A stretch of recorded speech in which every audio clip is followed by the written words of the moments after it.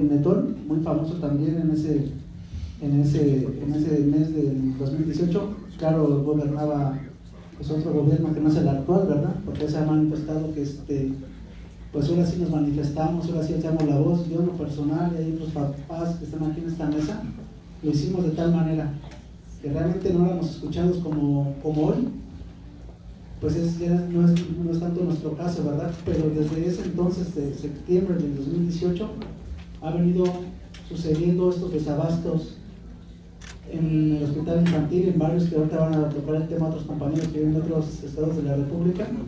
Por lo general del estado, bueno, del hospital infantil es cada tres meses esos desabastos.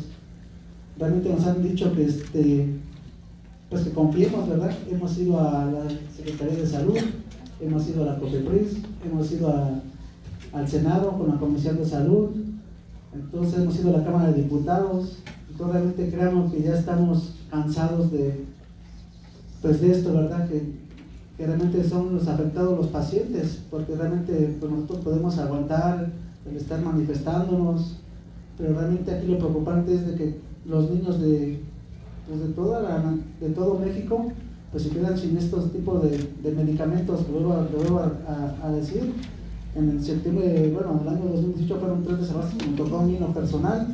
En el año 2019 fueron siete desabastos, tuvo en el hospital infantil. Hacemos la cuenta, ya van 10. Y la que la actualidad del 2020 empezamos con otros dos desabastos. A partir de, así la, la, fecha exacta fue a partir del 7 de enero de este mismo, de este mismo mes. Entonces, por lo tanto, ya este, nos hemos manifestado, ya realmente queremos pues, que, haya una solución a todo esto. No podemos seguir así, de que nos dan el medicamento dos, tres meses y vuelve a ocurrir lo mismo.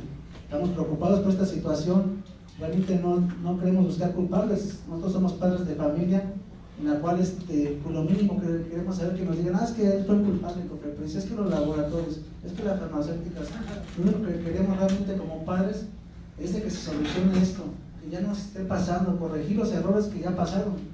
Ya el pasado ya se quedó, ya no podemos estar sacando cosas que el pasado, que si esto, que el otro. Ya realmente estamos, pues sí, ya desesperados ante esta situación que estamos viviendo y es a nivel nacional. Entonces, por lo tanto, este, que quede bien manifestado que esto no es de hoy, o sea, no es de con este gobierno, ha sido también con gobiernos anteriores también, eso que quede muy claro también porque somos padres que decimos la verdad, no nos gusta estar mintiendo con cosas que sí y decir cosas que también no sucedieron y no hablarlas, ¿verdad? O sea, también totalmente el seguro popular no nos cubría todo, eso que queda también bien asentado. O sea, el seguro popular realmente no nos cubría todo, como se dice que realmente sí nos cubría. O sea, aquí venimos a hablar realmente la verdad, sin decir una cosa ni más ni menos, que es lo que queremos como padres de familia. Entonces, este, ahorita vamos, señor Israel, padres que yo he estado conociendo a través de este, pues este tratamiento de, mi niño, ¿verdad? Decían que por ahí nos estaban pagando ahí unos partidos, un partido político. Yo, Israel, lo conocí cuando llegó al hospital infantil, así como todos los padres de familia que se han estado uniendo a esto y alzando la voz. Porque quede muy claro, porque este, para que no se malentienda esto desde cuándo viene, yo creo que es muy puntual. Este problema ya lo tenemos desde septiembre del 2018 donde hemos metido oficios escritos a todas las secretarías, pero realmente lo voy a repetir, siempre es el confíen, confíen, ya no va a pasar, ya no va a pasar. En, la, en lo personal, me ha tocado ya vivirlo más de 10 veces. Y es cada dos, tres meses la misma situación que vivimos casi es como cíclica, ¿verdad? Exactamente, son diferentes este, medicamentos, ¿eh? no es puntual el polimetol, ha sido la bicristina, ha sido la ciclofloxamida, la demorobicina, el metrotexate o sea, no ha sido constante, así que digamos un solo medicamento, no. Han sido realmente todos los medicamentos oncológicos, o sea, han sido todos los medicamentos oncológicos. Entonces es la situación que nos... No todos al mismo tiempo, No todos paulatinamente, como dice, exactamente. A veces es el polimetol con la vincristina, a veces la ciclofasmina con otro medicamento, pero realmente este, pues sí es la preocupación. Yo creo que en esta mesa de reunión que vamos a tener el día de hoy, yo tengo fe yo le decía a Dios hoy en la mañana, de verdad, pues que ya pues, basta esto, basta por los niños. Yo creo que de manera personal he conocido niños que han perdido esta batalla y, de verdad me duelen porque convivimos con ellos. No han, no han muerto por desabastos, que quede bien puntual y claro, como algunos medios luego lo manifiestan también, ¿verdad? Estos niños han perdido la batalla, pero yo de manera personal, y creo todos hemos conocido a un niño, y de verdad créanme, cuando fallece un niño, pues es como si fueran nuestros propios hijos. Entonces por ellos también que estamos alzando esta voz de que entre menos estos niños que están en estos tratamientos no rompan sus protocolos, va a haber más probabilidad de vida para ellos. Yo lo que en el caso de mi niño, yo de verdad créanmelo y muchos saben, me conocen aquí, soy un hombre de trabajo y me tuve que deshacer de mi vehículo, tuve que deshacerme de varias cosas para comprar estos medicamentos. Y así como todos, en general, por general todos, todos los casos son los mismos, nos llevan a lo mismo. Mucha gente que viene de los estados llegan aquí a la ciudad y ni siquiera tienen dónde quedarse. Entonces, en la manera personal, yo se lo pido así de, de manera directa, realmente que se pongan ya un, esta situación que ya quede arreglada, que ya de hoy en adelante cambie esto, para no estar pues con esa misma certidumbre, ¿verdad? Como padres de familia. Gracias.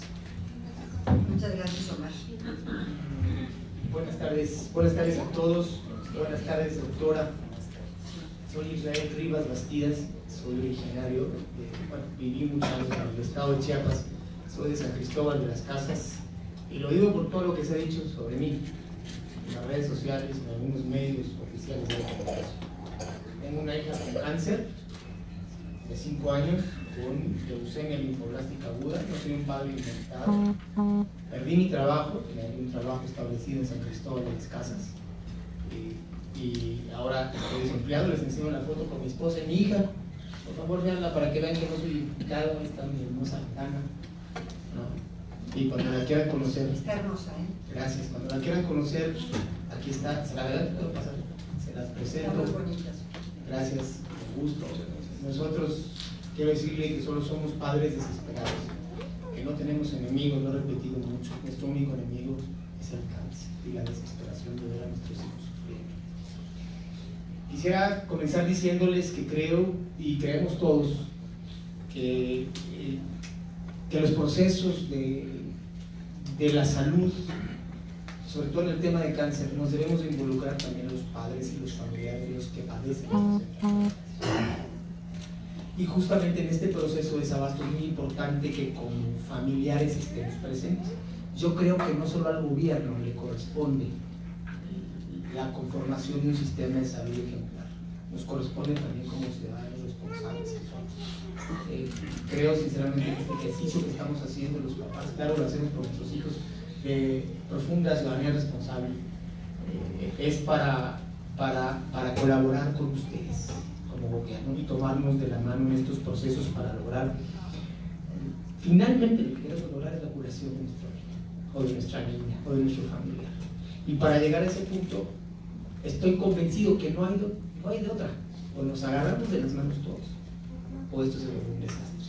Entonces, pues aquí estamos, le agradezco la atención para con nosotros y eh, para que vea que nosotros hemos seguido los cauces institucionales antes de tomar otras medidas. Tengo un documento fechado el 11 de octubre del año pasado, de 2019, y me acuerdo que estaba tomada la, la Secretaría, no pudimos entregarlo sino hasta el 25 de octubre, en donde le poníamos como punto único, a usted, se lo muestro, la instalación de una mesa de atención interinstitucional encabezada por esta Secretaría de su cargo, la Secretaría de Salud, COFEPRIS, Secretaría de Hacienda y Comisión Nacional de Derechos Humanos con la finalidad de mantener un canal de comunicación para la toma de decisiones oportunas en el caso de alguna contingencia. Porque nosotros ya veníamos venir a algún tipo de situaciones, que enseñar el documento, está sellado la oficina de partes, eh, ya habíamos solicitado esto, lo mismo que lo hicimos a presencia de la República en un momento oportuno. Nosotros queríamos establecer estas mesas de trabajo, porque eso es, colaborar con ustedes para encontrar soluciones. y también nosotros eh, necesitamos saber oportunamente qué es lo que sucede. Quisiera antes de darle la representación a otros hospitales de papás y otros estados, decirle que hemos construido una pequeña minuta de trabajo este, para con ustedes de lo que queremos plantearle. No la tenemos por escrito porque queremos que la construyamos justamente juntos no tomar procesos unilaterales, ni ustedes para nosotros, ni nosotros para ustedes, sino conjuntamente. Por eso no lo traemos por escrito, para que salga de aquí como un compromiso entre ciudadanía y gobierno, que es como se deben tomar las decisiones en conjunto, no solamente eh, de manera unilateral.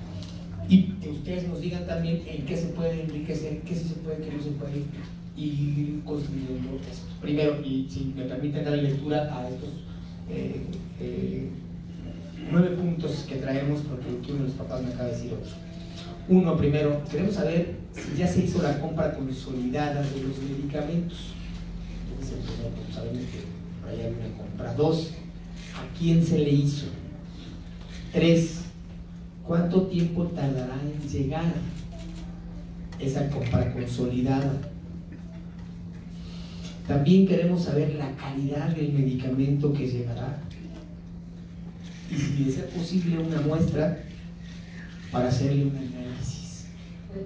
Eh, se hizo la compra consolidada de los medicamentos. ¿A quién se le hizo? ¿A quién se le hizo? Sí. ¿Qué más?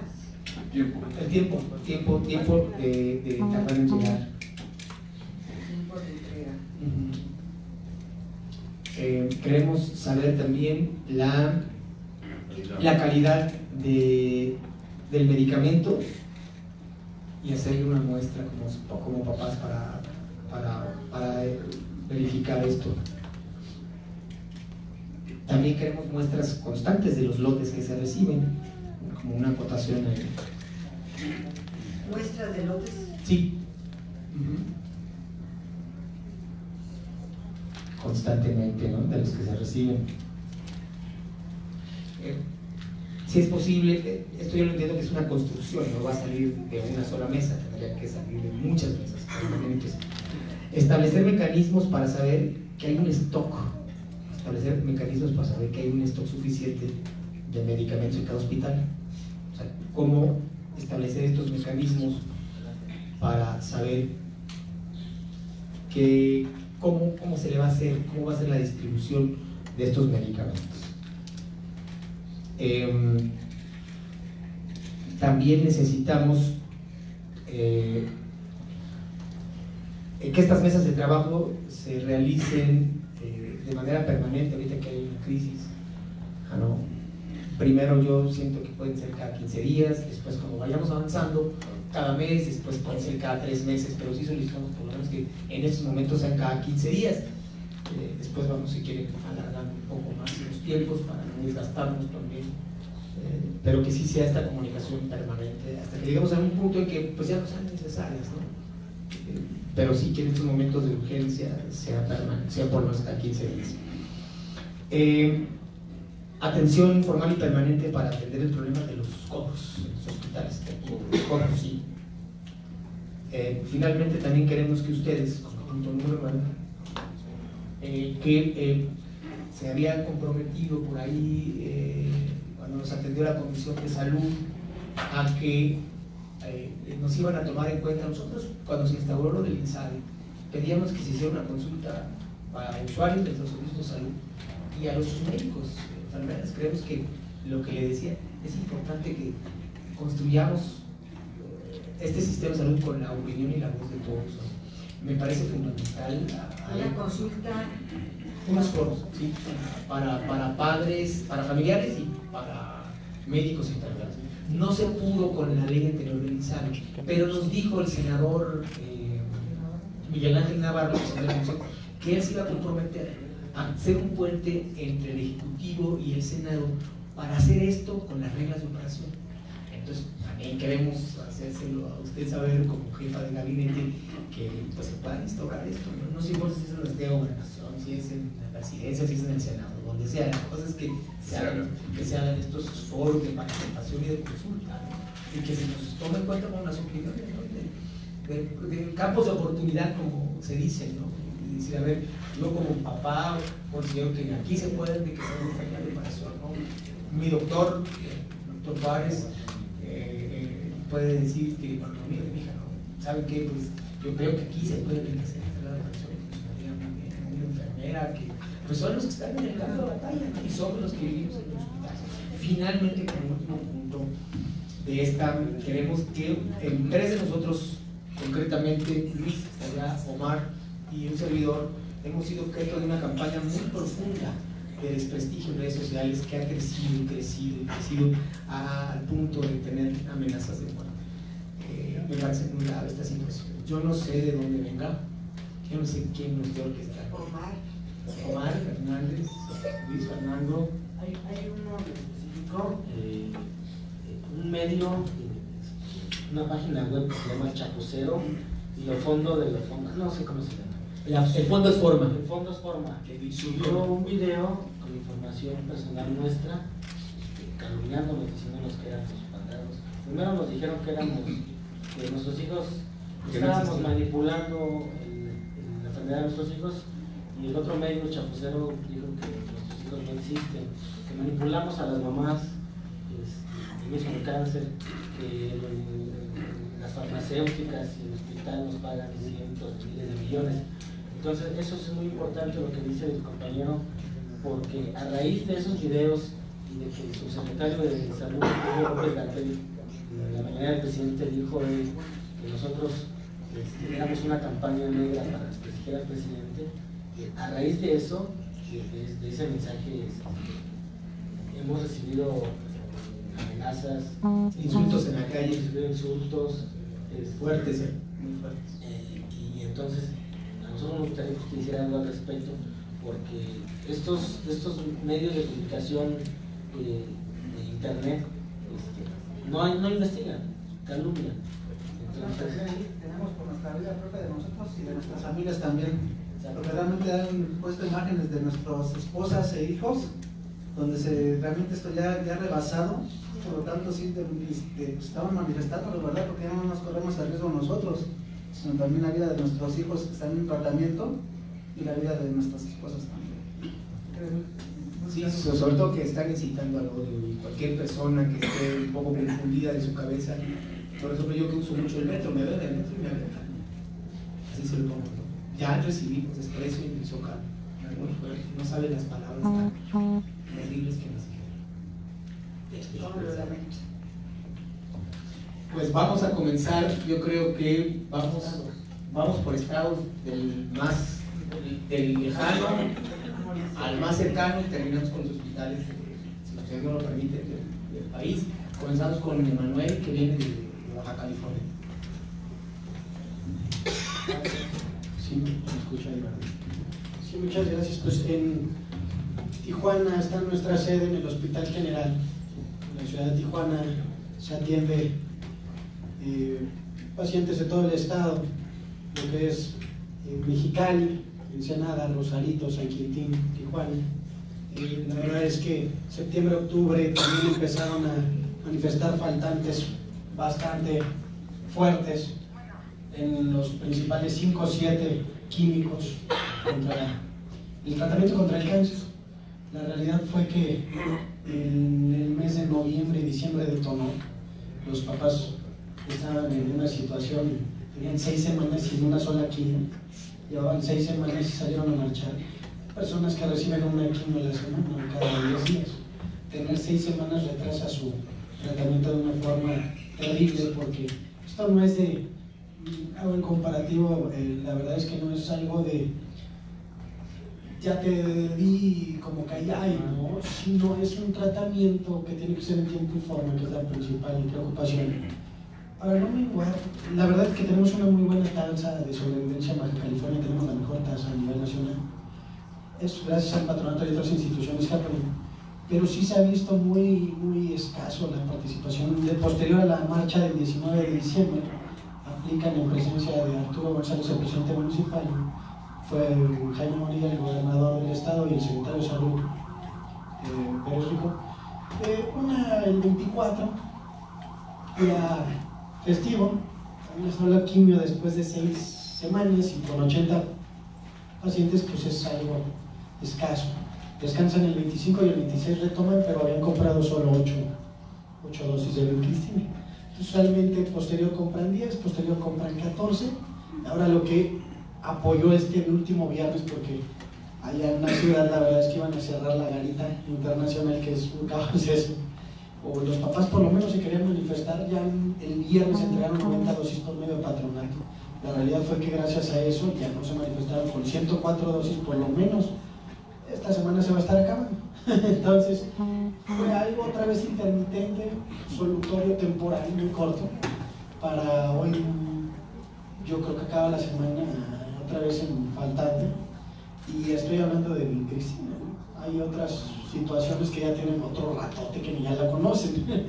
Entonces, la verdad es que vamos a apoyar con los. La verdad es que el secretario de salud me estuvo contestando los WhatsApp, los casos que le estuvo mandando, los estuvo dirigiendo, pero la verdad es que no se había una totalidad para cubrir ya sobre los 80, ¿no? No le podemos dar preferencia a lo que yo le mandé, en lo que a mí se me acerque, aunque pues se le trata de atender a todos, ¿no? Entonces, la verdad es que hoy con esas 104 dosis yo creo que para el sábado estarán necesitando otra dotación en el que les estoy comentando. Es en general la situación, tenemos una casa en el patronato, los niños también cuando viajan y todo se les cubren los gastos, es buena la condición, lo único que ha menguado y ha detonado la situación de los papás ha sido la falta de químicos y el tratamiento, ¿no? Entonces, realmente eso es lo que queremos exponer y lo que preocupa ya si nos garantizan eso y como mencionaba, respaldar la visita desde allá hasta acá porque pues por ahí también nos decía Hugo que pusieran un grupo de papás, pero no representaban. Es difícil cuando las personas enferman, pues no andan expuestos a la intemperie. En una gripa, simple gripa o hasta en una tos, yo me acuerdo de tomarme el jarabe cuando ya otra vez empiezo a sentirme mal. Eso es lógico. Entonces, el caso de los niños no es la excepción. Y la verdad es que esa es la, realidad que se garantice lo suficiente una estoca ya, por lo que se tarda simplemente en que lo envíen, por lo que se tiene que tener en, función de los tratamientos, ya se puede hacer logística para inventario, para la periodicidad que ellos llevan y tenerlo todo ya en conjunto. La verdad es que los papás contribuyen y se acercan bastante y hemos servido de un canal realmente hacemos la función secretarios, doctores, o todos estamos en los papás y todos, realmente que por los niños, realmente cuando esto le dan otro tinte, no, no tenemos ningún tinte político. Este, sí hacemos el llamado por el tiempo que ya tiene esto, los seis meses de lo de los cuatro meses de la niña que fallece en Guadalajara, lo aclara la secretaria de salud, no se le atribuye a, a la falta de medicamento, pues son cuatro meses atrás y sigue presentándose esta condición, es algo que no se ha iniciado, que es lo que estamos viendo en la compra de consultorio y esto, que todavía va a demorar. Entonces ya debemos dar los pasos, concretarlo de manera inmediata, porque todavía lo que llega, nos mandan y se reparte, pues va a venir otros faltantes. Y ya no es una condición mundial. La verdad es que si volteamos a ver, el único país, aunque ha disminuido la producción, en el caso concreto de Cristina, el único país en el que se está manifestando la condición tan deplorable es aquí. Es la realidad, no tenemos otro país en el mundo con todo y que se padeció, se redujo. Sacando esta situación, 100% eso. Y el foco rojo sí, con las 17, de las 7, de las 17 que tenía PISA, que por sanción, había un faltante con esta totalidad inhabilitada, pues es si ya estás importando de España, lo que se dice con el canciller y lo que dijo el doctor Hugo, pues nada más si es un foco a que no dejes de hacer lo que tengas que hacer para garantizarlo, porque en tantito que te atrases o que la tengas que ir a traer para importarla o producirla, lo que ya vayas a tomar, se ocupa una solución temporal, pero ya la de la de lleno, la de raíz, porque no, esa no se ha aplicado, es la realidad. No hay una solución de raíz para producirlo, para tenerlo y para garantizarlo.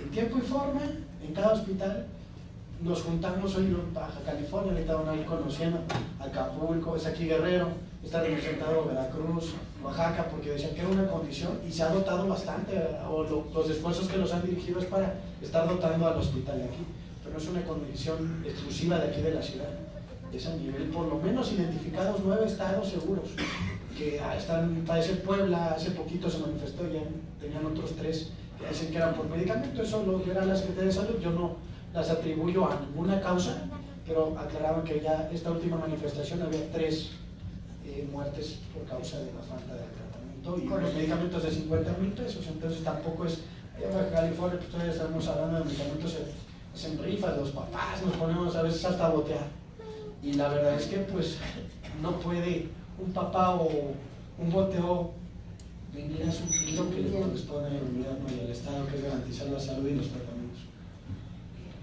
Vamos con, eh, con. Vamos con Oaxaca, a. Igual vamos con, con Guerrero. Vámonos con Oaxaca. Bueno, buenas tardes a todos. Mi nombre es Sergio y vengo representando, Sergio Valencia Camarena y vengo representando a los padres de familia de Oaxaca. Yo sí quiero ser bien puntual. Tenemos nosotros un grupo que se llama Guerreros contra la Leucemia en el Facebook, que está en 71 países de habla hispana. Solo México está padeciendo esta situación del desabasto. Perú, España, eh, Bolivia, El Salvador, Guatemala, Honduras, no tienen el problema que tenemos nosotros. Y también a lo mejor se me viene el pensamiento, para hacer un pastel necesitas harina, huevos, mantequilla, leche, crema, para que te salga rico, te salga bonito. Así como muchas cosas necesitan sus ciertos componentes. En el caso de nuestros niños con leucemia y otros tipos de cánceres, necesitan un tratamiento que va en base a varios medicamentos con diferentes ciclos, con diferentes circunstancias para cada uno de nuestros niños y que no todos los medicamentos están el día de hoy. Hemos hecho amistad muchos padres de familia de la República Mexicana y pues si bien es cierto el, la gente del Distrito Federal de la Ciudad de México inicia esto y nosotros en Oaxaca apenas nos manifestamos hace 15 días y pudimos decirlo, yo les puedo decir que el día 16 de noviembre en su mano entregué yo al secretario de salud, entregué yo una lista de lo que estaba sucediendo en Oaxaca. El martes pasado el gobernador, después de que nosotros nos manifestamos, el gobernador y el secretario de salud decían que está abastecido al 97% los medicamentos oncológicos. Eso es vil mentira. No es novedad. Llevo cuatro años metido yo en el ambiente del hospital y sí quiero hacer muy puntual. Hablo nada más del Hospital de la Niñez Oaxaqueña, el único hospital pediátrico en el estado que atiende las ocho regiones del estado, el único hospital oncológico para nuestros niños. Ellos decían que estaba abastecido. Lo único que llegó fue Vincristina y Metrotextato, que sí es cierto que hay desabasto a nivel nacional. El día de hoy tenemos abastecido hasta el, día de, hasta el mes de febrero de Metrotextato y Vincristina, pero nos faltan 10 claves. 10 tipos de medicamentos diferentes que si no los tenemos no va a poder ser posible que nuestros niños en Oaxaca y en todo el país se salven. Yo lo denuncié desde noviembre. Están condenando a morirse a nuestros niños. ¿Quién es el responsable? Yo no sé. Pero no hay medicina.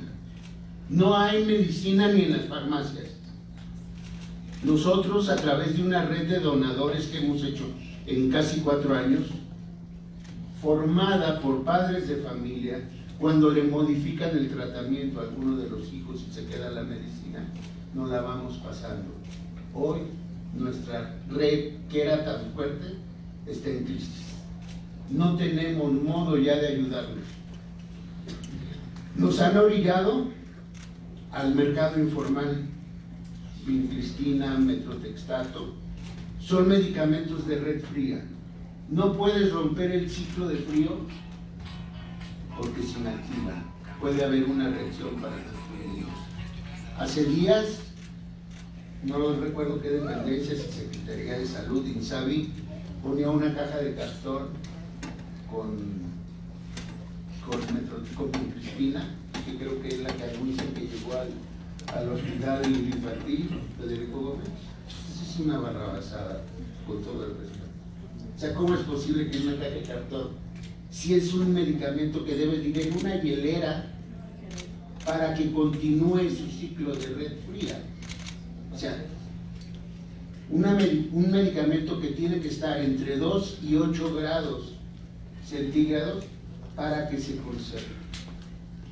El día de hoy en Oaxaca son ocho claves las que nos están faltando, se las quiero mencionar, para que no diga el señor gobernador, las autoridades, el secretario de salud, que tenemos todo en Oaxaca. Biomicina, ciclofosfamida de 200 y de 500 miligramos, citarabina de 500 y de 100 miligramos, dacarbacina, daunorubicina, tigarubicina y fosfamida y, blastina. Si no tenemos estos medicamentos, nuestros niños van a morir. Créanmelo, mayo, julio, hablo nada más de Oaxaca. Quiero aclarar también, no soy doctor. Soy un padre de familia que tuvo un hijo con el Mi hijo falleció. Y he visto y he aprendido. Y me hice médico, me hice enfermero, y me hice psicólogo, y me hice acompañante para un padre de familia como yo. Temo muchas muertes de aquí a mayo junio de nuestros niños oaxaqueños. Los médicos están viendo obligados a reducir si a un niño que necesitaba 300 miligramos de ciclofosfamina, hoy le están poniendo 115 para que alcance para el niño de edad. Vincristina, que también es de acuerdo a su peso corporal. Si el niño necesitaba 1.7, hoy le están poniendo porque no hay Y eso es terrible. Yo por ahí en, un día en la red social yo no me sé muy bien los términos, pero decía, ¿esto qué es? ¿Genocidio? ¿Holocausto? ¿Quién cabrones va a pagar las muertes de esos niños? Así, cuando estábamos en el hospital, Alfredo me avisó y me dijo, cuatro guerreros hemos perdido en una semana en Oaxaca. Fue el primer por falta y es muy triste por una Es muy triste como padre de familia no poder correr a otra farmacia o ir a la chula y buscar contrabandear medicamentos.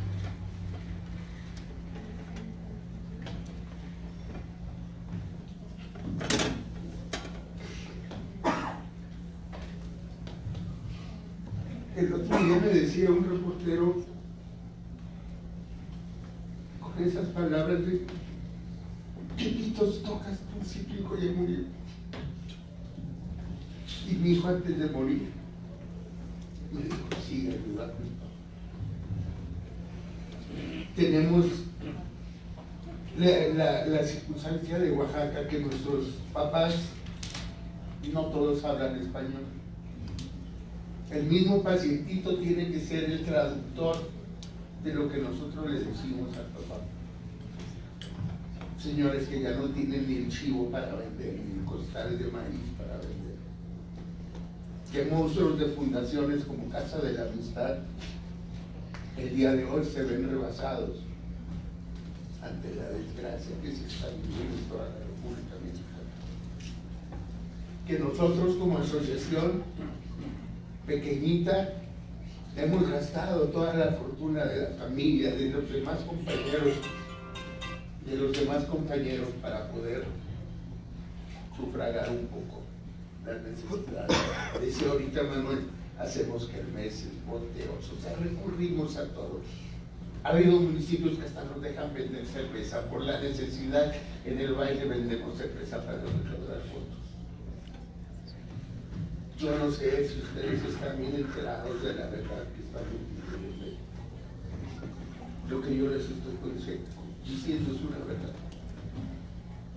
Hubo, tuvimos la fortuna de tres de nuestras hematólogas atreverse a hacer un ingreso y lo compartimos. donde hablan de lo que le puede pasar a nuestros niños. Si ustedes supieran que hay días que nuestros niños tienen que recibir más de 30 piquetes para una sola inmunización, para una sola aplicación de quimioterapia, porque sus venitas se queman, porque sus venitas se van haciendo delgadas, porque sus venitas hacen callo, porque es una enfermedad bien perversa. Y que los vemos cómo se van haciendo flaquitos, flaquitos. Que cuando los perdemos, nos sumamos todos como familia y nos abrazamos y nos, nos apapachamos porque hemos dado la pelea con todo. No se vale, se lo sinceramente, porque esto no es de ahorita. No se vale que nos estén tratando vidas. Yo los invito a que volteen, que vean todos los estados que estamos diciendo pasando, Puebla, Tlaxcala, Guadalajara. Estamos rebasados. Algo necesitan hacer y ustedes bien saben que la compra consolidada no la van a poder realizar en dos, tres meses. En dos, tres meses van a estar muertos. No hicieron bien las cosas.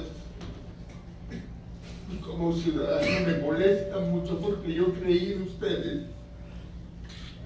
Gracias.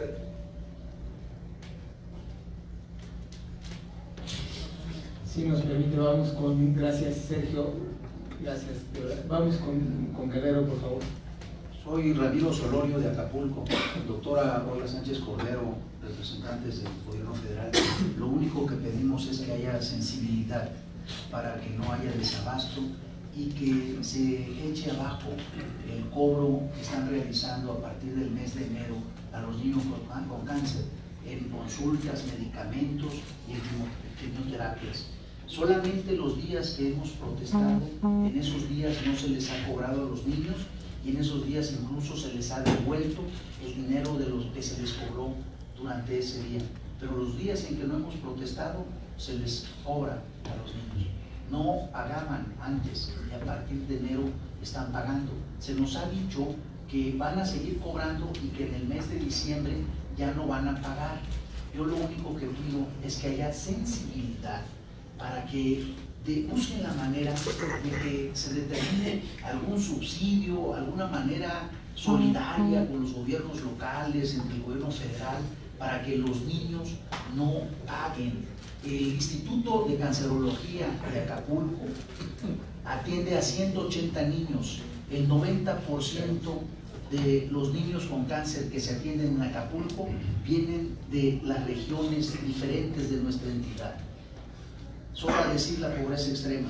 Lo único que pedimos encarecidamente, que rogamos, es que se revise este tema y que no se le cobre a los niños con cáncer de sus tratamientos. Lo único que pedimos. No queremos seguir manifestándonos. Lamentablemente hemos tenido que movilizarnos, que cerrar realidades y solamente en esos días es cuando no se le cobra a los niños. Solamente en esos días es cuando se le regresa el dinero a los padres de familia de los que se les cobró es lo único que pedimos, que se garantice el medicamento de los niños con cáncer en Guerrero y que de favor revisen este tema para que no se, no se les cobre. Muchas gracias. Gracias. Buenas tardes. Más que nada, subrayar lo que está diciendo aquí el compañero. Yo en especial estuve la semana pasada, estuvimos en la Secretaría de, de Salud, aquí está la mamita, esta señora Estela, y así de manera textual, los voy a hacer saber a ustedes, me dijo el secretario, ¿sabes cómo rompe tu póliza que tienes? Esa ya no tiene vigencia. Porque yo la renové en, diciembre porque se me vencía en enero. Y dije, seguro, secretario, que la rompo y no me la van a pedir. Dice, sí, esas a partir ya de, enero no tiene ninguna validez. Por lo tanto, puedes romperla. Es uno de los profesores, Estela. Puedes romperla porque ya no en adelante ya no la tienen que presentar. Eso es, una, es algo bien cierto lo que está diciendo el señor. Porque a partir de enero están pidiendo las pólizas. Cuando el mismo secretario me dijo, ¿sabes qué, Omar? Rómpela, ya no tienen por qué presentarla. Fue, recibió Pedro Flores Jiménez, eh, de Secretaría de, de, Salud, de Administración de, de ahí de la, administración de la Secretaría de Salud. Expresó él, estaba, no puedo mentir, estaban los papás, que realmente esas pólizas ya no tienen vigencia. Dijo, señor Omar, lo bien adelante esas pólizas no deben de presentarlas, pero eso no es una realidad. En todos los hospitales las siguen requiriendo. Y si no tienen la póliza uno, realmente le dicen a uno como padre, ¿sabes qué? No podemos atender a niños. Entonces, una mala información. Yo le, yo le estaba expresando al mismo secretario la semana pasada que acudió al hospital infantil, que había directivos que nos dejaran ingresar a esa reunión, porque de manera así era más fácil que, estando el mismo secretario con el director del hospital, pues le diera el aviso que ya no tienen que presentar esas pólizas, porque dicen una cosa y agarran y es otra. Y sí es cierto, ¿eh? en todos los hospitales a raíz de enero de este año empezaron a cobrar ya cuotas cuando antes no se cobraban. Esa es una, inclusive en los niveles que tenemos como padres de familia, yo pues yo tenía el nivel 1 y ya un día llegó mi esposa así a consulta y la apareció que tenía el nivel 6 y yo me quedé así, oye, ¿por qué no cambió? Fui a ese día, a este, no nomás en mi casa, fui me presenté ahí en la admisión y me dijo, ¿sabes qué, este señor Omar? Hay un error, porque ven a uno que es que está ahí al tanto de las cosas. Fue un error, fue lo que dijeron, pero otras personas sí le hacen eso. ¿Sabes que Del nivel 1 te vas al nivel 6 y le está cobrando cuotas, pues caras, ya pagan, ahora ya pagan las consultas, ya pagan laboratorios, ya pagan quimioterapias y no se vale que esté haciendo ese, pues ese uso. Realmente eso que sí quede muy puntual para que se lo hagan saber al, pues al secretario, si realmente, si esas por yo le decía al secretario, si no, pues, ¿por qué no mandan un circular a todos los hospitales que se diga, doy en adelante ya no tienen que presentar las pólizas, pero hay un circular por parte de gobernación? o de la misma secretaría. Eso sería todo. Vamos, vamos con el, papá que es de Veracruz y que hay también una voz del siglo XXI por ahí. Este, Pedro, ¿dónde estás? Ah, Buenas tardes. Eh, doctora, me da gusto estar con usted, con su equipo de trabajo. Eh, le agradezco porque nos recibe personalmente allá en Jalapa no nos recibe ni el gobernador ni el secretario de gobierno. Eso habla muy bien de usted y de mí. Eh, fíjese que en Jalapa, Veracruz, donde tiene su humilde casa, también existe el desabasto de medicamentos oncológicos.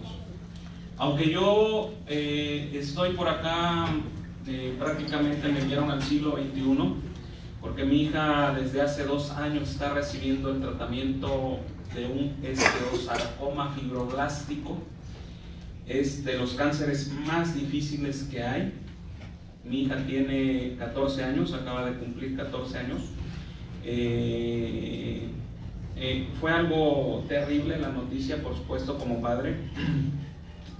Más sin embargo, hemos estado luchando hasta este momento. Yo soy presidente de una asociación ahí en el estado de Veracruz que se llama Veracruz Justicia y Equidad y que también traigo la voz de mi gente, de mis paisanos en el estado de, Veracruz por ese desabasto que hay de medicamentos en el, eh, precisamente en el Hospital de Cancerología, en la Secretaría de Salud.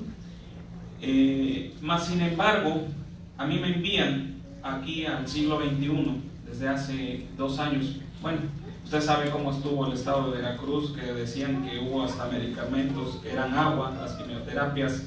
Yo no arriesgué a mi hija a, dejarla ya en la Secretaría de Salud por lo mismo. Eh, murieron muchos niños, y lo supe. Bendito sea Dios y estamos por acá, pero preocupa también porque soy sensible la gente que ha quedado allá con niños eh, enfermos de cáncer. Eh, mi hija, le vuelvo a reiterar, mi hija está por acá ya, bendito Dios, ya dos años, la operaron de su pierna derecha, le quitaron tumor, hay muy buenos cirujanos en el siglo XXI, hay muy buenos oncólogos, muy buenos eh, este, médicos, eh, le operaron, le quitaron 10 centímetros de rodilla, tiene una prótesis y continúa en tratamiento Desgraciadamente se le subió a pulmón, hubo metástasis, se le subió a pulmón ese cáncer, porque corre, corre por hueso, por médula. Y, bueno, eh, eh, aquí lo alegre es que no apareció en gamagrama el día de ayer nada, bendito Dios. Pero también algo preocupante, me dicen, ¿sabes qué? Ya no hay fosfamida. Digo, ¿cómo? Si vamos muy bien. Eso, la verdad, me preocupó demasiado, doctora, porque usted sabe, bueno, eh, soy abogado, no soy médico, pero por todos estos años que he estado ahí, casi me convierto, como dice nuestro compañero, en doctor y en todo. Eh, y finalmente, si no pones un ciclo, como nos dice la oncóloga, eh, en ese mismo periodo, el cáncer avanza muy rápido, demasiado rápido. Y es algo, le vuelvo a reiterar, doctora, muy preocupante, es uno de los cánceres más agresivos, el osteosarcoma, eh, porque corre por huesos. Y yo quisiera, doctora, yo quisiera, voz, eh, hago la voz de, mi gente, también de Jalapa, Veracruz, que pueda usted, doctora, pueda usted intervenir, que yo sé que sí, es usted una mamá y yo sé que tiene un gran corazón, porque me gusta analizar a las personas, eh, es sensible y yo sé que va a hacer algo por todos nosotros, doctora. Eh, fíjese que eh, desgraciadamente ahí en el siglo XXI han fallecido innumerables niños que hemos estado junto a ellos. Bendito sea Dios, nos ha dejado vivir a nuestra hija, este, pero pues es algo terrible cuando dicen Daniel falleció, este, Dulce falleció, es algo desgarrador, ¿no? de, quiebra. A mí la noticia que me dieron de mi hija al inicio, hace dos años, a mí me quebró, a mí me quebró eh, como ser humano, tienes sentimiento, lloras como padre, porque te duele, por supuesto. Este, y lo que dice aquí nuestro compañero es verdad, el ver sufrir a nuestras hijas, el que la canalizan 20, 15 veces porque se queman sus venas, este, es algo terrible, es, adelgaza, eh, se cae el cabello, son procesos, pero lo más terrible, doctora, es que no haya medicamento. ¿sí? Eso es lo más terrible. O sea, que no exista el medicamento, eh, como es ifosfamida en este caso, le quedan dos ciclos nada más a mi hija para terminar el proceso, obviamente. hablo también, como le reitero, por mis por mis hijos, por mis hijos jalapeños, porque esta experiencia que tuve me hace motivar más a ayudar a la gente allá en el estado. Y espero en Dios, que yo sé que sí lo va a hacer, porque dijo usted al inicio, podemos hacer una mesa de trabajo con los demás hospitales y poder así manifestar de viva voz lo que hace falta las situaciones que acontecen, este, sí le puedo comentar eh, que hay mucha, mucha bacteria ahí también. Eh, obviamente llegan niños de todo el estado de la República y que yo creo que también es necesario, es necesario eh, pues instalar protocolos de seguridad. Terapia intensiva, hemos escuchado por otras mamás. Oiga, licenciado, ayúdeme, ¿qué puedo hacer? te digo, mi hija la tengo aquí, yo no puedo hacer nada. No puedo ser juez y par en estos procesos. De infecciones, cuando dices, hoy estaba curándose del cáncer, mi hijo entró en terapia intensiva y falleció por otra situación, o sea, te quedas, lo traigo, sigo el proceso, ya no o sea, es complicado, doctora. Ya no la quiero alcanzar más. Este, es algo similar a todos. Este, yo únicamente le vuelvo a reiterar de corazón, se lo pido. Yo sé que sí lo puede hacer. Eh, ayudarnos con esos medicamentos. Que yo sé que lo va a hacer porque tiene un gran corazón.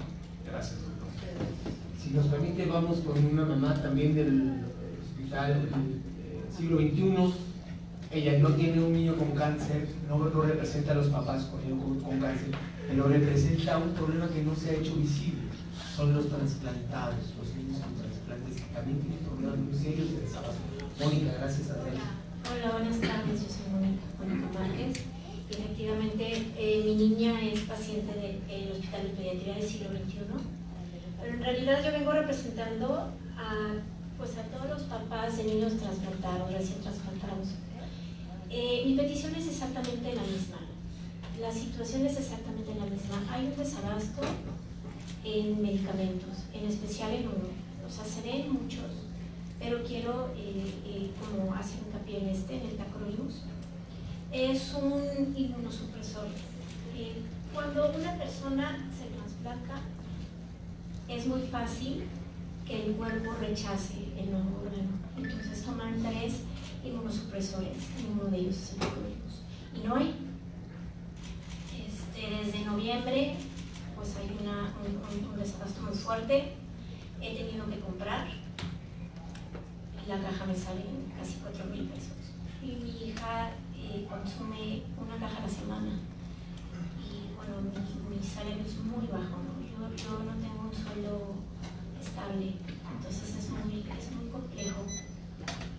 Miren, eh, yo me enteré ayer de, to, de, de, esta, de todos estos papás, todo lo que están haciendo y precisamente de, de la cita del día de hoy. Entonces, pues me les, me les uní. Y no tuve tiempo de, llamar a las mamás. Hice como un pequeño llamado, pero pues fue muy pronto. Lo, creo que lo publiqué a las 8 de la noche. Entonces, realmente vengo yo en representación de muchas. Tengo muchas amigas ahí en el hospital y todas no saben qué hacer. Tengo una hija de 7 años, a ella se le diagnosticó insuficiencia renal a los 8 meses. A los 3 años empezó a dializar, brincó de diálisis hemodiálisis y así sucesivamente. Y no tiene ni idea de los dolores. Y como mamá, yo ya no sabía qué hacer. No fui candidata yo para trasplante por problemas de salud, pero se metió en una lista de espera cuatro años esperando este, este riñón y llegó. Y los cuidados son fuertísimos y estoy al pie del, del, cañón con mi niña. Y, y, las dietas y los medicamentos son a la hora. El tacrolimus tiene que ser a la hora, el diclofenolato tiene que ser a la hora y la prednisona tiene que ser a la hora. Si yo me paso, se me olvida un día, mi hija rechaza ese riñón. Y entonces no hay. Y yo de verdad no sé qué hacer porque oigo que botean, oigo que pues, puedo hacer una rifa, a lo mejor puedo este, buscar donaciones, pero no hay. Somos muchas mamás que estamos buscando en, en, en, farmacias y digo, bueno, pues tengo a lo mejor amigos que tengan familia fuera de México que me puedan mandar, pero alguien dijo ahorita que no era, bueno, que, les corresponde, que le corresponde al, al, gobierno, ¿no? Este, darnos estos, estos. Realmente mi petición es esa, que, que nos ayuden y, y, también la voz por los niños porque es un proceso muy, muy doloroso, muy largo y me duele en el alma que, que, que un día me digan, bueno, lo sentimos, se tiene que volver a, a, a dializar por, por, lo peor, ¿no? Que, que pierda la vida, ya sea mi niña o cualquier otro, otro pequeño. Entonces, no hay, no hay medicamentos y, y, yo me siento muy, muy potente. Yo por eso decidí unirme aquí con, con todos los papás que tienen ese problema de medicamentos oncológicos, pero bueno, no nada más es en, en esta área de, de, cáncer. También nosotros necesitamos este, ayuda que nos, que nos escuchen. Gracias. Gracias, Mónica. Vamos con las mamás del hospital de Iztapaluca, del Estado de México. Por favor, adelante. adelante. Buenas tardes a todos. Mi nombre es Jennifer Serrano García. Este, soy mamita de una nena de 9 años con leucemia linfoblástica de alto riesgo. Realmente mi nena tiene una rara leucemia. Ella tiene el 2% del amiloide este, pues no soy la única con, consternada con, con, toda esta situación, sino somos todas las mamás del hospital que pues estamos, estamos demasiado preocupadas por la situación. Igual es desgastante estar viendo todos los niños, todos los días a tus niños cómo amaneció, si no va a recaer, si no tiene algún síntoma. ¿Por qué? Por la falta de medicamento. Eso pues, nos constierna a todos este, estamos mal, también nosotros como padres. Creo que ya nosotros hasta necesitamos un psicólogo porque ya tenemos los nervios de punta. Este, pues mi única petición que tengo es que manden los medicamentos tal cual como están, porque ellos llevan un proceso muy, muy, muy concreto. Misma, este, los doctores nos han dicho que hasta nosotros nos han dicho, ¿saben qué? Medicamentos se deben de tomar a, a tales horas, no pasadita de media hora, no antes de media hora, por lo mismo porque son medicamentos muy fuertes, son medicamentos que, que pues los necesitan, los necesitan porque pues si no se nos vienen abajo. Hay niños que llevan años, este, mi nena que lleva apenas meses, tiene seis meses que se la detectaron, este, y pues estamos preocupados. ¿Por qué? Porque no hay medicamentos, ¿qué vamos a hacer? Los doctores están al 100, ¿eh? Déjenme decirle que el hospital está en la mejor disposición, los doctores también, pero es como dicen, nosotros, ¿qué más podemos hacer sin el medicamento? Es como mandar a un soldado a la guerra sin armas. ¿Qué pueden hacer? Nada. Si nos pudieras decir la lista de lo que hace falta ahorita en el Iztapaluca. En el Iztapaluca falta la citarabina, la danorubicina, la ciclofosfamida, la ifosfamida. Y de la Bien Cristina llegaron algunos frascos, más o menos son como 400 frascos, que supuestamente nos van a durar hasta tres meses, que lo dudo mucho porque esa, ese medicamento creo que son dos frascos por niño, alrededor somos de 25 niños, entonces más o menos saquen sus cuentas, no nos va a durar. Y este y la citarabina tienen muy poquita, tienen 29 frascos, pero las están ahorrando para la intratecal, que es lo que hacen este, una vez por semana, que son los miércoles, hay varios niños que, que van los miércoles, y pues no, no creo que les aguante, creo que ni un mes.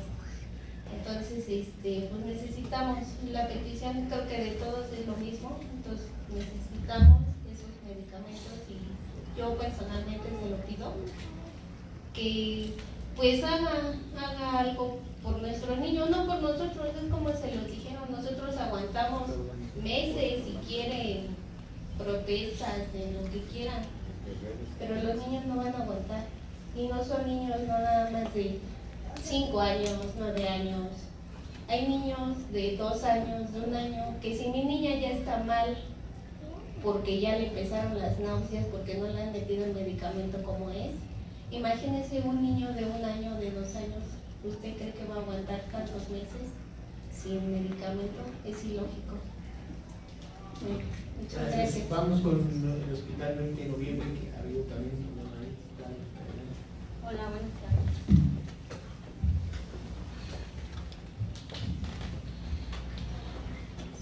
Hola, buenas tardes. Mi nombre es Reina Citlali. Pues ya no sé si soy o era mamá de Marlon Cris. Él murió el 20 de octubre, pero fueron siete años, nueve meses de lucha que tuve con mi hijo. En ese tiempo este, pasamos muchas cosas en el hospital 20 de noviembre. Precisamente tomaron varios puntos en los que dicen que somos pagados, que, nos, que estamos respaldados por algún partido. Yo quiero, expreso al presidente del departamento de esta administración la falta de material que tuve para mi hijo, que era un, un material que ocupaba para su intestino. Recurrí a la Comisión de Derechos Humanos y es ese devenir. Si hay, no hay, si hay, no hay. Me lo entregaban, no me lo entregaban. Y así es el devenir. Desafortunadamente, ya cuando te dan una noticia del cáncer, es dura y es más duro llevarlo con una doble batalla de falta de medicamentos. ¿Se dan cuenta? Esto tiene fecha del 2015, cuando fue el desabasto, en el- bueno, cuando estaba la, el señor Enrique Nieto. Y bueno, el, el día 26 de agosto, pues las mamás optamos por cerrar la vialidad, a la cual pues me sumé su, propuesta, porque hacía falta Cristina, Metroquexate, ciclofamida y entre otras quimioterapias. Aquí está la minuta que se hizo con el director y ahorita el hospital sigue en desabasto. Es la original, aquí están sus firmas, aquí está la firma del director, la firma de, original es de la mamá. ¿Qué pasa aquí? Pues obvio, pues ya no creen de que te firman papeles y el desabasto sigue y la, y la batalla es dura. ¿Y qué dice la mamá? Pues prefiero estar cuidando a mi hijo dentro, paleando esto, a irme a manifestar. Y, y la verdad, mi miedo a represalias también de parte de ellas. Entonces, mi hijo murió el 20 de octubre. Pues yo me sigo subiendo a la lucha de que ellas tengan todo lo que necesitan, las cristinas, la quimioterapia. Yo ya perdí lo más valioso, que fue mi hijo. ¿Qué más puedo perder? Yo ya no tengo miedo a hablar. Ya aquí estoy, estoy que me conozcan los medios, soy una ciudadana más que exige sus derechos. Al final, perdón,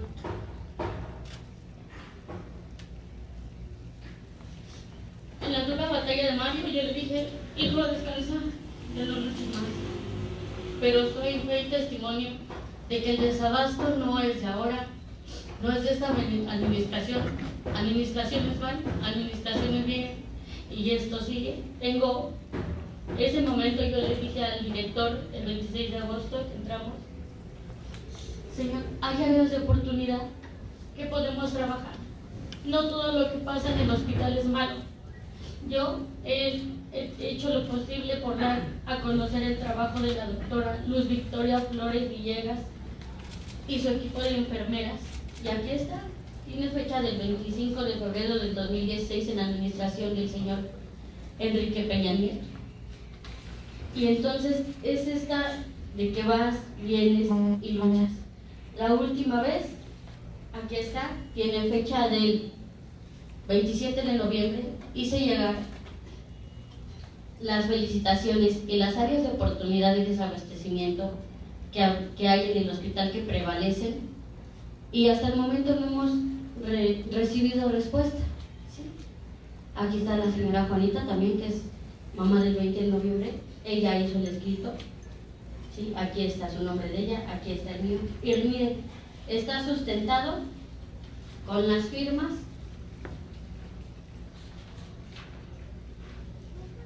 de las mamás que recabamos. Porque lo que yo estaba con mi hijo en el hospital, ella y yo hacíamos relevos. Porque mi hijo murió el 20 de octubre. Aquí también trae los sellos de 25 de octubre. Y así nos pasamos la estafeta. Porque pues los niños están delicados y no todos pueden salir así. Pero al ver todas estas necesidades, aquí traigo la lista de medicamentos que hacen falta en el hospital 20 de noviembre. Y si le hago un llamado al director que yo no tengo nada en contra de, de él, ni de ningún gobierno, ni de ninguna doctora, al contrario, muy buenas enfermeras, hacen lo que pueden con lo que tienen porque esa es una realidad. Y si usted me permite, yo puedo ampliar todas las áreas de oportunidad que tiene el hospital 20 de noviembre. Tiene una tasa muy alta de sobrevivencia, porque eso es también el respaldo del trabajo de los médicos. Imagínense si con lo que tienen hay un alto índice de vida, entonces empujando todos, retroalimentando, yo sí les voy a hacer. Miren, decían, son pagados. Y cuando fuimos al aeropuerto a manifestarnos, varios llevaron a sus hijos. Y comentando con la señora Juanita, le digo, bueno, por lo menos ellos lo llevan vivos para que vean que son, que nuestra lucha es legítima. ¿Yo qué? Les traigo la urna. Y me dijo, no hagas eso, le dije, es que, que nos crean. Aquí están los papeles. Ni siquiera para retroalimentar el trabajo de la doctora Luis Victoria Flores ni el de las enfermeras hay respuesta. Nunca tuve respuesta. Acudí a derechos humanos. Si no mal recuerdo, la señorita Cecilia Juárez fue la que me atendió. Y ahí mismo llevamos este papel este papel con el respaldo de las firmas. Y seguimos esperando respuesta porque no lo llevamos solamente a la dirección general. Yo le voy a dar una copia donde lo entregamos, mire, hasta el mismo hospital. Aquí tiene el sello, Centro Médico Nacional, 20 de noviembre. Entonces, ¿qué pasa cuando nos acercamos a las autoridades y dicen, sí les vamos a solucionar su caso, vamos a levantar una minuta? Aquí estamos. Y las distancias entre fechas y fechas son muy cortas y no hay solución. Vamos a trabajar juntos, les doy los nombres de, los medicamentos que hacen falta, aquí los traigo, y este, de los medicamentos que hacen falta, y quiero enriquecer esto con, hacen falta reservorios, laminillas, hacen falta para las intratecales, este, agujas, que desafortunadamente luego no hay pediátricas y ocupan las de adulto y tienen otro calibre. Entonces eso también llega a lastimar a los niños y los deja muy adoloridos. De por sí el procedimiento ya es duro. Entonces yo quiero nada más enriquecer. Y si, si es posible, de aquí a un llamado al señor López Obrador, que es un, fue una guerra de siete años, nueve meses. Desafortunadamente mi hijo ya no está pero aquí estoy y levanto la voz por las mamás que llegan con su maleta llena de esperanzas de Veracruz, de Chiapas, de Guadalajara. Que se cure el niño y que no hay quimioterapia, por lo menos tengan la decencia de decir, ¿sabes qué? Avisen al área de comunicación que no hay quimioterapia, no vengan, porque las hacen venir si ni siquiera hay medicamentos. Si gustan meterse a mis archivos, y yo lo autorizo, donde de enero hasta que me parece febrero, fines de febrero, yo estuve internada, durmiendo en el suelo, porque a uno no le importa dormir en el suelo con tal de que tu hijo se cure. Y quiero ser bien clara, mi hijo no murió por el desabasto, porque tampoco voy a mentir. Y en el devenir de pedir mi mamá darle colostomía, me lo dieron, pero pasé mucho tiempo, tengo mis notas de compra donde puedo respaldar lo que digo y que no tengo nada en contra de este gobierno ni del director del 20 de noviembre, al contrario, le doy gracias. Él me abrió la puerta el 26 de agosto en nuestra manifestación y pues el trabajo de las doctoras, pues aquí también se lo voy a hacer llegar otra vez al señor López Obrador, esperando yo y sí tengo una respuesta. Pues de mi parte sería todo. Muchas gracias.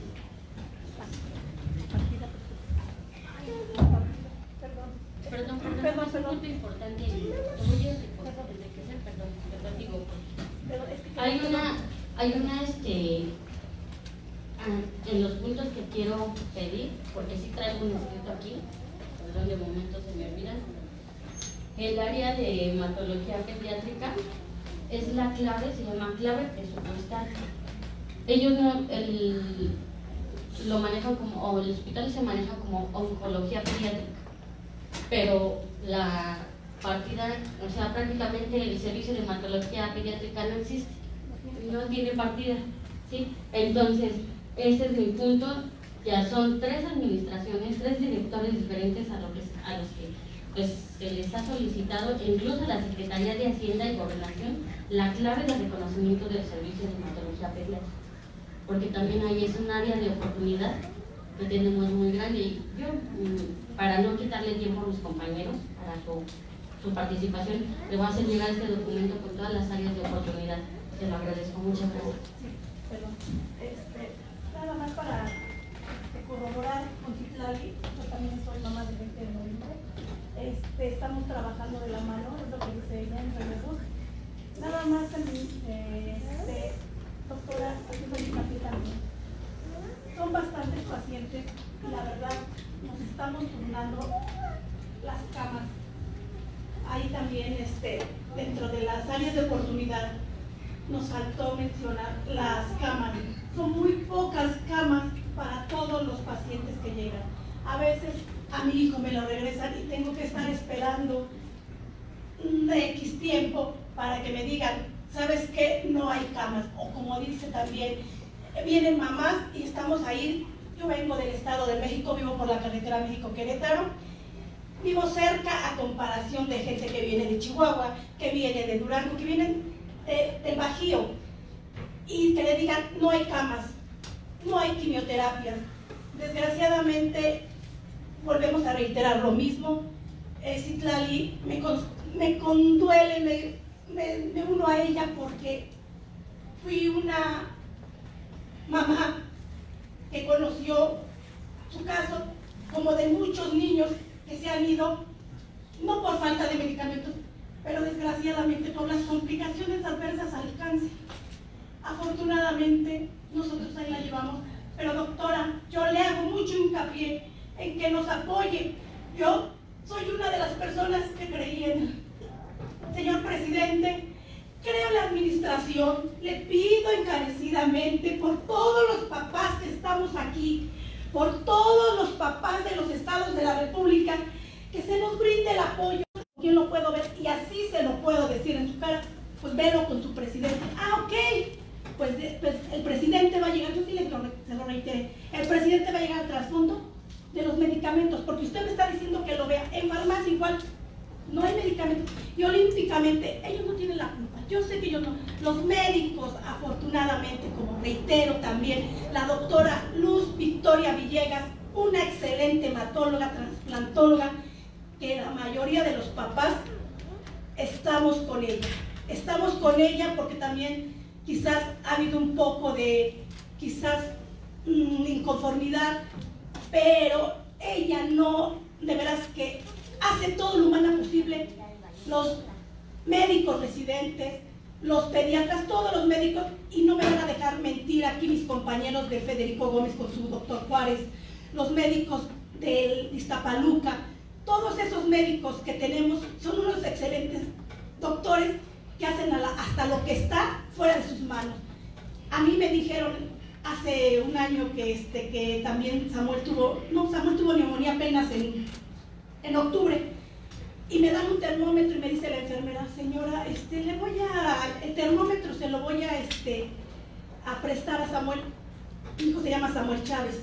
No di mi nombre, perdón, me llamo Juana Rojas, perdón, pero este, sí estoy consternada por esta situación. ¿Y sabe cuál es la situación? No tenemos termómetro. Le dije, no se preocupe, salí a comprar. No tenemos punzos para, para las venoclisis de hecho, hay, hay unas agujas que se llama quinqué para raquia y no hay. No hay un catéter para venoclisis número 18G, tampoco lo hay. Desgraciadamente, no nada más son las quimios, como dijeron también los demás, es todo el protocolo. Yo sí le pido que se garantice el protocolo de quimioterapia, el protocolo de los pacientes oncológicos, de los pacientes hematológicos. Muchas gracias por escucharme, doctora disculpe este momento de, pues a lo mejor se exalta uno por las situaciones, pero entiéndanos, usted es madre y usted sabe lo que duele un hijo. Gracias, eh, pues queda claro aquí, muy, muy claro, lo que ustedes están solicitando, están pidiendo, están necesitando. No cabe duda que las historias, que cada uno de ustedes trae una historia de sus hijos, de sus hijas. No hay más que decirles que hay una sensación, cuando menos mía, personal, de solidaridad, de empatía, de tristeza. Porque es cierto, los que somos madres y que tenemos también ya nietos, sabemos lo que significa la vida de cada uno de ellos. Desde luego yo me llevo todas estas preocupaciones, todas estas necesidades, todas estas eh, peticiones. Créanme que me las llevo en el corazón, no solamente me las llevo como funcionario. Eh, estoy sumamente sensible a todo lo que ustedes me han dicho. Y el día de mañana, primera hora, estaré con el señor presidente. Y digo primera hora porque ustedes saben que es primera hora de la mañana haciéndole del conocimiento de esta reunión, de lo que ustedes han manifestado, de sus peticiones, de sus necesidades, de sus angustias. Tendré yo una reunión con el sector salud pasado mañana y todo esto puntualmente será transmitido a todo el sector salud. Eh, yo no tengo más palabras que decirles que su reclamo es legítimo y su necesidad también, sus reclamos. En lo personal tienen mi solidaridad, mi apoyo, mi empatía y esto puntualmente se lo comentaré al señor presidente y a las autoridades de salud correspondientes. Esperemos, eh, señor subsecretario, que estas mesas sigan regularmente instaladas en la Secretaría de Gobernación y que esperamos dar la respuesta a la brevedad posible sobre la necesidad de surtir los medicamentos y todo lo que ellos han dicho de protocolos, porque no solamente son medicamentos, es todo un protocolo de atención sobre todo estos niños, estas niñas con problemas de salud y en esta enfermedad tan terrible que es el cáncer. Yo les agradezco de verdad su, su visita, este diálogo que hemos tenido, el primer diálogo de muchos otros que vamos a tener durante durante varias mesas que tengamos que hacer y no hay manera que sea solamente uno o dos o tres las necesarias para a dar la respuesta a todo esto. Muchas gracias. Gracias. Gracias, doctora. Finalmente eh, queremos bueno, agradecerle esta atención y queremos eh, pues establecer este diálogo permanente con ustedes. Es necesario. Y es necesario que ustedes se den cuenta que, lo único que hay detrás de nosotros es el sufrimiento de nuestros hijos. Lo único que me mueve a meterme a una pista de aterrizaje y ponerme ahí si es necesario, aunque me lleve el avión, es la vida de mi hija. Voy a terminar esto para no alargar la reunión con dos cosas, con una frase de un oncólogo, un comunicado de un oncólogo, el doctor Carlos Leal, del Instituto Nacional de Pediatría, que dijo que si por cualquier razón se interrumpía el tratamiento de los niños oncológicos, había riesgo de serio de recaída y de menoscabo en la vida del niño. Y dijo, no lo digo yo, lo dice la literatura internacional. Lo repito porque cada minuto que pasa un niño sin quimioterapia se arriesga su vida. Entonces, ponerme de acuerdo con ustedes ya en la cuestión práctica de nos gustaría construir ya una minuta con ustedes ahorita en este momento, si se pudiera. Eh, y ponerle fecha para la próxima. Yo quisiera solamente, eh, José Martínez Cruz, director general de la primera visitaduría de la Comisión Nacional de Derechos Humanos, quisiera hacer entrega para ustedes, bueno, se puede sacar copias para todo el mundo, entiendo que vienen de diferentes estados, del documento que se ha asignado por la presidenta de la Comisión Nacional de Derechos Humanos, Rosario Piedra Ibarra, dirigido precisamente al eh, secretario de Salud y al hospital específicamente, pero tiene alcances nacionales. En efecto, eh, de lo que se trata es que todo mundo hagamos lo que nos corresponde, en donde estemos, para responder a las necesidades de garantizar el derecho humano a la salud que está garantizado en la Constitución y que nos convoca y nos obliga como personas y estando en cualquier lugar. Ese es nuestro compromiso de darle seguimiento. Tenemos conocimiento que ustedes presentaron algunos escritos, le damos seguimiento para que en el ámbito de las atribuciones podamos dar respuesta. Porque en efecto, construir una sociedad y una nueva Una nueva sociedad requiere el esfuerzo y compromiso de funcionarios, autoridades y sobre todo de la ciudadanía. Porque si no hay poder de la ciudadanía, evidentemente que se pueden trabar muchas cosas que en ocasiones tienen que ver con farmacéuticas, tiene que ver con poderes establecidos, tiene que ver con una dinámica que, como decía la secretaria, hay que superar con el esfuerzo y dedicación de todo mundo, porque de otra manera vamos a seguir cargando con toda esta este, losa pesada que significa muertes y no podemos permitirlo. No nos lo podemos permitir. Nuestra solidaridad es real, como dice la secretaria, es un compromiso a fondo y lo vamos a cumplir. Esto es necesario. Finalmente, secretaria, yo sé que va a hablar del presidente de esto, es muy importante que le haga saber esto. No se le puede aplicar una quimioterapia al sistema de salud. Usted sabe muy bien que la quimioterapia barre con lo bueno y lo malo. Porque si no va a barrer con lo bueno que hay, y al barrer con lo bueno, se van a morir gentes. Se están muriendo, usted lo escuchó. Yo les suplico que aquí tienen que entrar con bisturí, muy fino. Esto tiene que ser con mucho cuidado.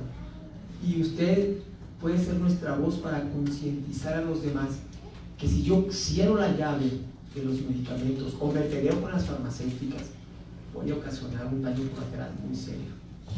Le pedimos que usted que escuchó estas voces sea esta, estas voces sin voz y que haga conciencia de eso, que no se le puede aplicar esto.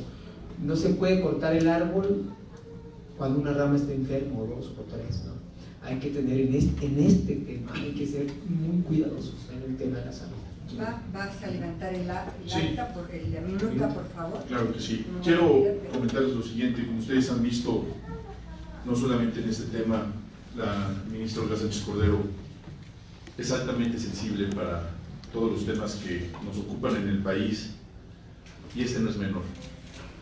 Eh, el dolor que ustedes tienen es dolor de nosotros. Yo creo que uno por, por nuestros hijos es capaz de quitarse la piel. Y yo en lo personal también me solidarizo con la causa. Eh, vamos a, a, abrir una minuta, como nos lo han solicitado, con estos 10 puntos que ya nos han señalado. Yo quisiera que hoy mismo fijáramos una agenda de reuniones. Yo quisiera que nos reuniéramos cuando menos dos veces a la semana. Yo sé que muchos de ustedes tendrán que regresar a sus lugares de origen y no es posible, pero con que ustedes tengan una representación aquí, nosotros tendremos que hacer este trabajo. Es un compromiso de la ministra, como lo ha señalado, llevar esto al presidente de la República de primera mano. Eh, a nosotros, con las manifestaciones que hoy nos han presentado y desde antes, sabemos que esto es un tema real, que no se trata de estar buscando responsables, sino de buscar soluciones inmediatas. Este es nuestro trabajo, en esto ha creído la gente en este gobierno de la Cuarta Transformación. No vamos a ser cómplices ni vamos a ser rehenes de absolutamente ningún interés político, porque lucrar con la muerte o con la enfermedad de un niño no solamente nos hace apátridas, nos hace ser inhumanos. Y este es un gobierno humanista. Y así vamos a continuar y no vamos a fallar. Cuenten con nosotros, con la Secretaría de Gobernación, ya lo dijo la ministra Olga Sánchez Cordero. Me quedo yo con la operación de esto que nos ha instruido ahora mismo la ministra. Yo le estaré informando puntualmente sobre cada uno de los detalles y cómo vamos a ir avanzando. Lo vamos a resolver muy rápido y háganos desde ahora y para siempre sus aliados. Muchas gracias. Gracias. Gracias. Gracias. foto, este, doctora? Sí, cómo no.